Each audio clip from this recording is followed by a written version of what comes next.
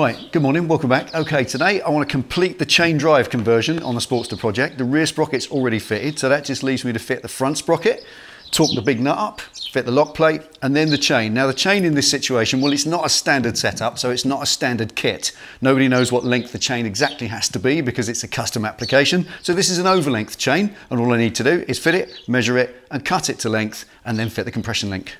So let's do it.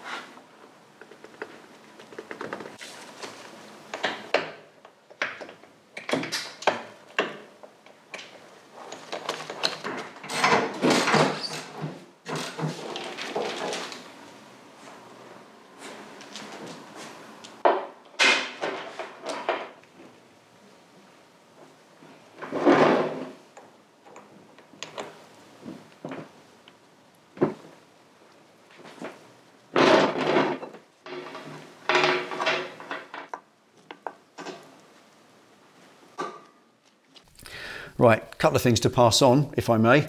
If you're going to do this, first of all, don't cut your chain too short.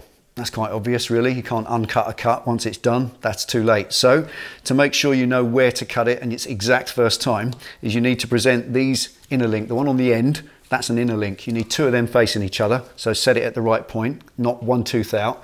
And the other thing is, something that I think gets forgotten now and again, is obviously you want Bring your axle all the way forward to give you lots of adjustment as it wears, but then don't do your chain too tight. If you pull it up too tight and cut it there, then when you drop it off the jack, don't forget that it tightens up.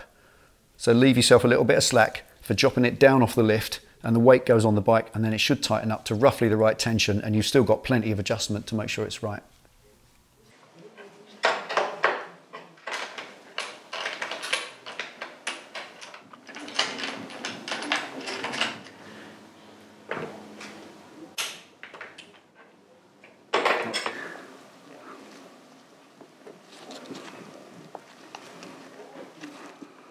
inner to inner. Correct.